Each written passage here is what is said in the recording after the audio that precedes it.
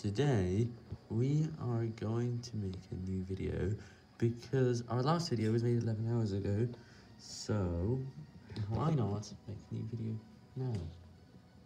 I sometimes take a while to upload the next video,